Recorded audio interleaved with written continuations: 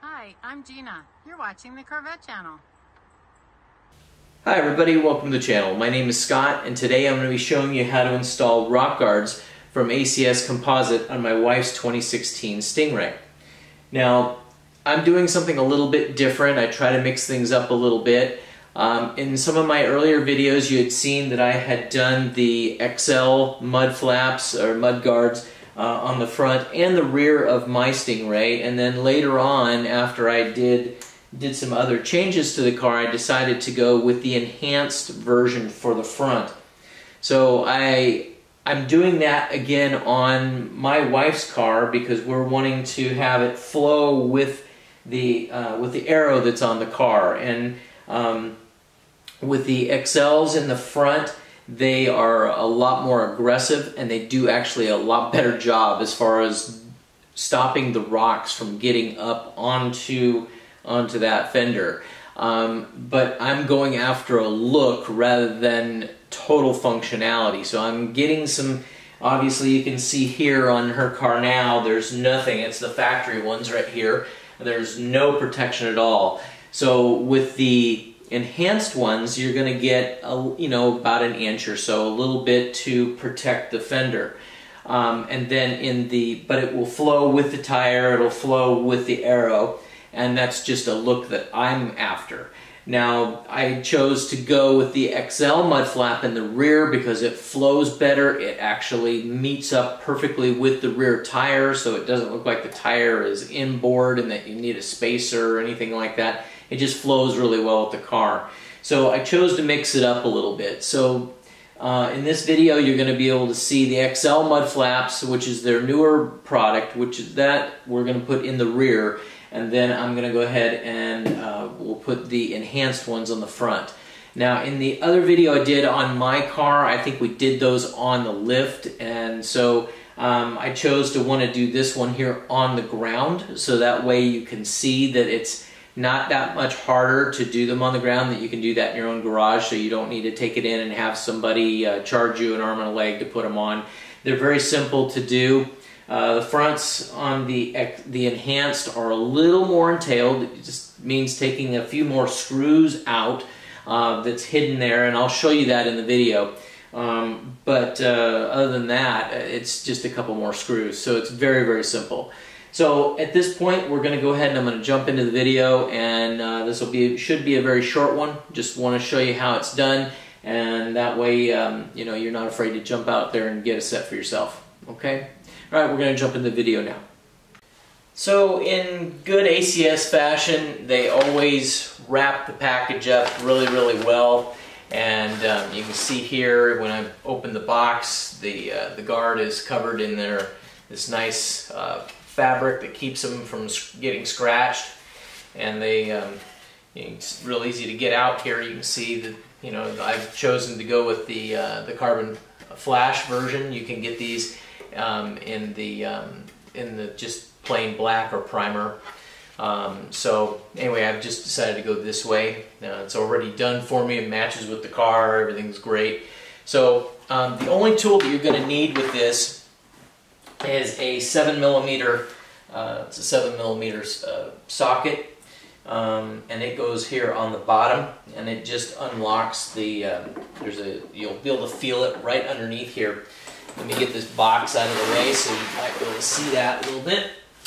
Right underneath here, uh, my hand is right on it. It's literally right below here. You'll see it. It's a 7 millimeter socket, or bolt, I should say, or nut. And you're just going to just going to undo that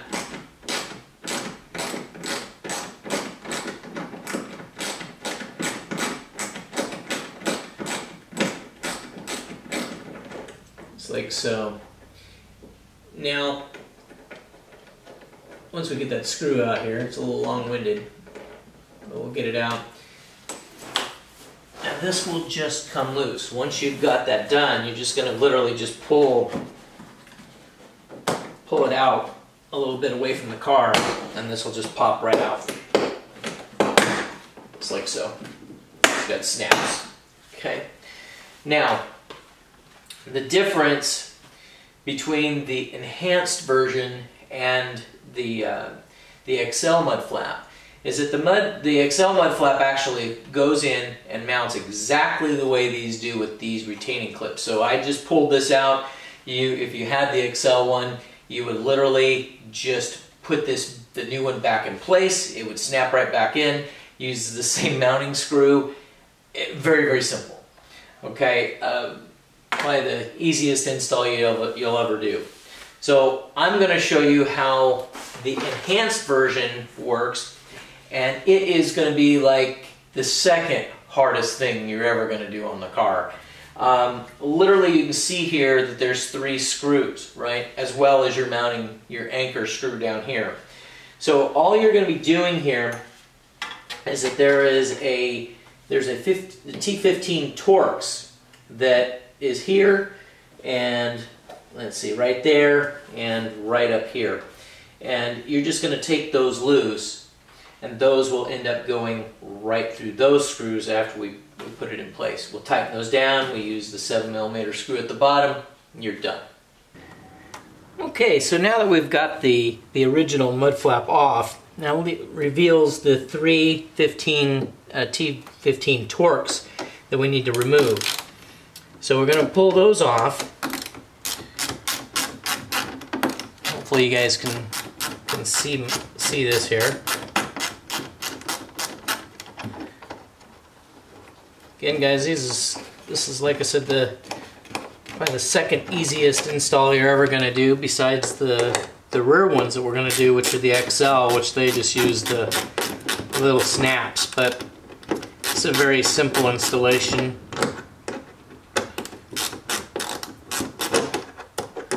If you can keep the keep your tool on the screw, I guess that helps a little bit.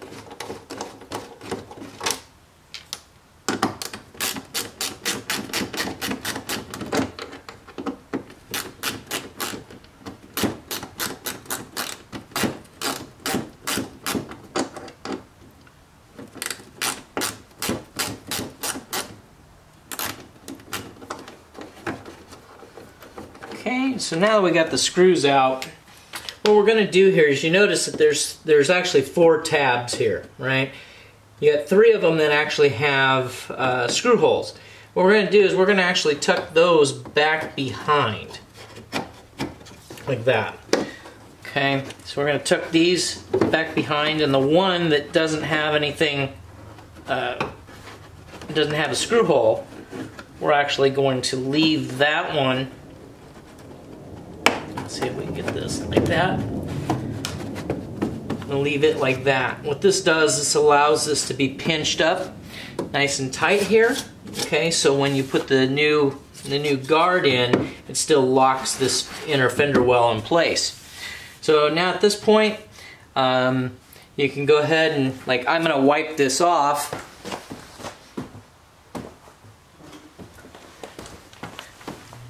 You don't have to do this, but it gives you a good opportunity to wipe it down. Just like that. Get it ready to go. Okay. Then at that point, all we're going to be doing is you can see right here, there's this little tab here. This tab is going to go right into this spot right there. You can see right there. So we're just going to slide that little guy into that, like so. And this is just going to sit up there like that, and you're going to reuse those same screws right there like so. And as you tighten them down, you'll just adjust this to the outer edge of the fender so where the carbon flash part of the paint is exposed.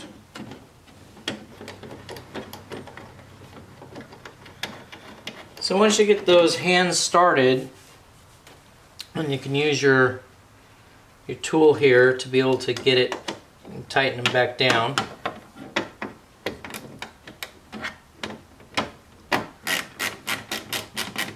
And I've just made sure that it's nice that you'll feel the seam along the back the back edge of it where it fits right into the fender. So yeah, it'll just you'll just be able to adjust this right to the edge of the fender like that. You know where it's at, looks like everything's good, and then you can go ahead and tighten it up.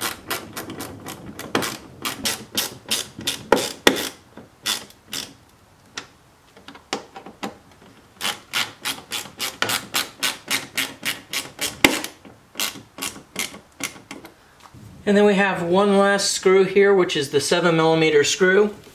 That'll go right up into the bottom here, into the tab that's down below. Just going to put that back into the bottom of the body here. Okay.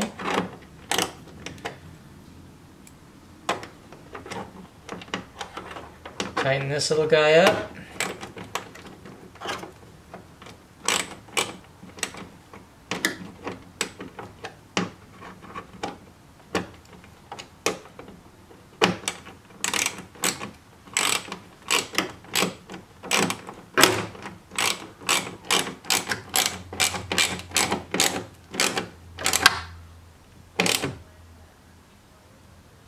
Tell you, isn't that like this most simple? We're done. So this is like the simplest thing, or the second simplest thing you've ever done. So we're going to go ahead and we're going to go over back to the back one, and we're going to do the simplest thing we've ever done. I would like to thank Jonathan over at ACS for sponsoring this episode of the Corvette channel. So now that we're at the back of the car, and uh, again we're going to be doing the the uh, XL rear mud flaps. So these are a little bit, uh, you see it again in, in uh, that they've got them all nicely wrapped up. We're going to pull this out here. Now, uh, you can see that they just use the snaps like I was talking about. So all we're going to be doing, it also has the anchor, anchor screw here. So all we're going to be doing is we're just going to take the 7 millimeter uh, screw out of the bottom here. We'll pull this one off and then we'll be able to snap this one back in place and we'll just put the 7 millimeter screw back in. We're good to go. So I'm just going to reach underneath here. Now there's three screws underneath here. They're all 7 millimeter and there's two that are in line with the outer edge of the car. Those are what keeps um, the valance and everything hooked onto the bumper. There's also a third screw that's kind of inboard toward the center of the car. That's the one you're going to want to pull loose. That's the one that's, that's holding the mud flap in place. So once you've got that one out, you're just going to reach underneath there like so. You're going to just pop it loose.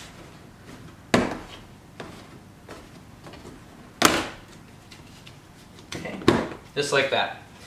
So we get that one out of the way. Again, I'm just going to take a little bit of wet rag here. I'm just going to wipe this off. Okay. Now we don't have to take anything loose, no screws or anything like that. Now what you want to do though is this tab, you want to make sure there it goes into the slot there, okay, and it gets sandwiched between the bumper and the inner the inner bumper. So you want to make sure that it goes in there so it can get sandwiched in. Once you push that in there like so, you're literally just going to snap these little guys in place.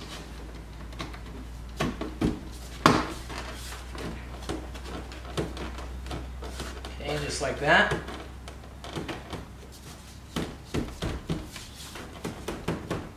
Okay, and then you're going to put the 7 millimeter screw back in.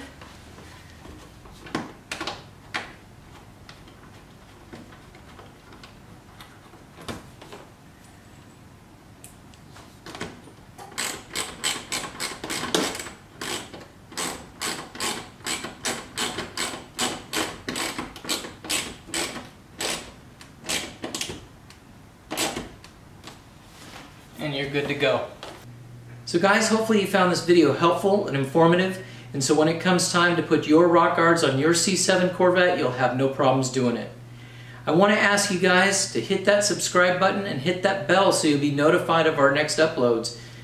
And tell your friends, I appreciate it. Our channel is growing all the time. We just went over the one year mark, our first year anniversary, and we're over 3,000 members and almost, well, almost 3,100 subscribers at this point and we're growing every day. And I just want to thank all of you for that. It's great. I love it, and I am so excited to be able to tell you guys that we have beat the 3,000 mark in one year. Everybody I talk to, other other YouTubers that are out there, they're telling me, "Man, you are just really doing a good job." And I'm not trying to ring my own bell. I'm just appreciate all of you guys that are watching the channel. It's really awesome. I'm so happy that you guys do. So guys, anyway, enough of that. Just want to tell you thank you for watching. You guys have a great night. Thank you for watching the Corvette channel. Don't forget to hit subscribe.